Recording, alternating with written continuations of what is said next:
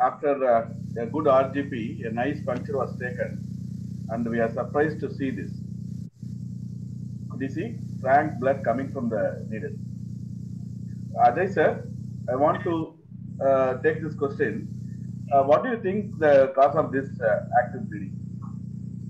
I think you are still in the parenchyma or you have hit a smaller vessel and you have not entered the pelvic system or you have gone through and through the calyx and then basically you are not in the right place if it is a frank blood.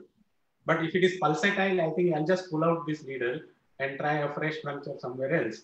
But if it is a diluted blood, maybe a small, uh, you know, vessel injury, it will get diluted with your normal saline irrigation. So if it is an diluted blood coming, I'll wait for a while.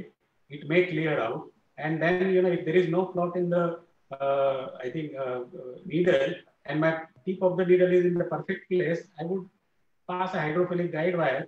And then if the guide wire goes into the right place in the pelvic system, in the upper ureter or wherever I want it, I can park, I'll proceed with the case. For a blood tinge, you know, you may not get always a clear cut puncture and a clear return from the initial puncture, the first puncture. But frank blood, pulsatile, just get out, get out and go in somewhere different or repuncture. But if it is diluted blood, wait for a while, irrigate, and then proceed with the plan if your uh, tip of the needle is at the perfect place. So if it is a pulsatile blood, you think it is more likely to be arterial uh, injury, so you will change the uh, puncture and you do a new puncture. Yes, yes, absolutely. So uh, in case uh, if the bleeding is not pulsatile and continuous, will you make the puncture with the uh, proceed with the same puncture or will make a new puncture? If it is frank blood coming, it's not getting diluted, maybe in a minute or so. I'll still pull out the needle and then try to repuncture again from a different place. So uh, that is this is very common scenario. It is not always that we all get a perfect puncture. So frank blood coming from the first puncture, and if you are not sure whether the tip is there, you just pull out and do a depuncture.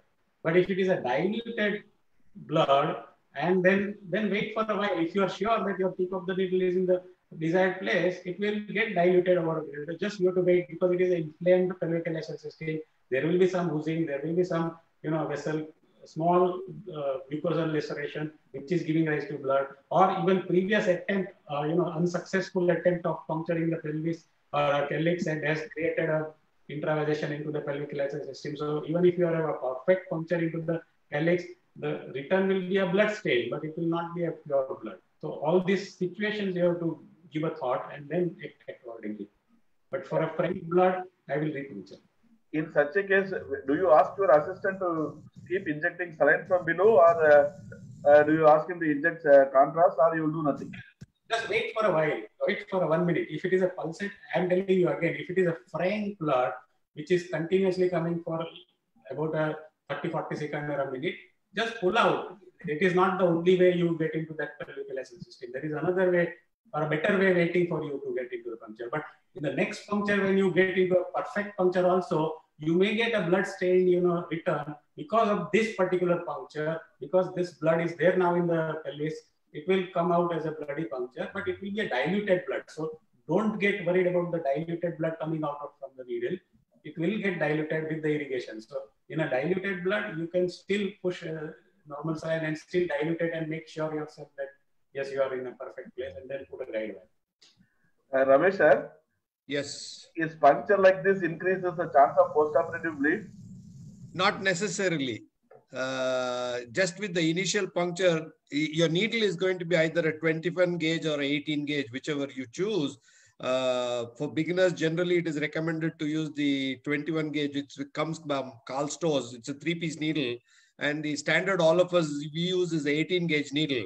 So between a 21 gauge and 18 gauge, the chance of, uh, because you might not do it in your first puncture into the kidney, you might require multiple goes before you access the collecting system. So the chance of bleeding is lesser when you use a 21G rather than 18G. So, but just because you have got bleeding in the first attempt, that does not mean your post-op bleeding is going to increase. The color of the blood that comes out of the needle in the initial puncture, if it's frank blood, you need to pull out the needle and approach the collecting system in a different way and then you wait till it clears out. Once you're in the system, there will be some blood tinge return. but I'm with some time uh, or with some flushing from below, that's going to clear out. And once you do a dilatation, it does not, just because the initial puncture is showing some blood, it does not increase the chance of bleeding. It is only during the dilatation that if you shear the vessels, that there is a chance of either aneurysm or AV fistula. The initial puncture does not uh, do the damage. You can always reposition the needle and enter the system into the right plane. Hello. Yeah. Yes, sir. Am I audible? Yep.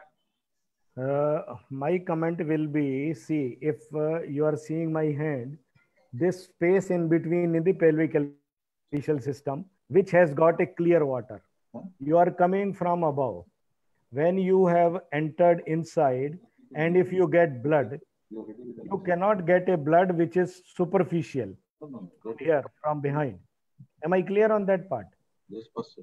And if you have gone by mistake through and through, because pelvic calyceal system is not a very big space, if you have gone through and through, made a needle puncture and gone out, you may go out into an artery. So it will be a pulsatile bleeding coming out. Once it is a pulsatile and deep red, don't proceed at all. Immediately withdraw the needle. If it is a venous blood, just withdraw the needle slowly and bring the needle tip into the space in the pelvic calyceal system. The bleeding which is occurring from the floor will not stop immediately. It will take some time to settle. Give some time, slowly go on injecting saline from below, but not so much because nothing is coming out, intrapelvic pressure is rising. Then you manipulate, once you feel that you are inside the space, bleeding is reducing, then manipulate your needle like this just change the direction towards the stone, towards the infundibulum, towards the PUJ. And if by changing the fluid which is coming out becomes clearer and clearer, means the bleeding from below is now reducing. Now pass the guide wire and go ahead. It is just a needle puncture through and through into the vein. Or maybe it was in the renal parenchyma. Once you have come out into the space, change the direction and make the track, nothing else.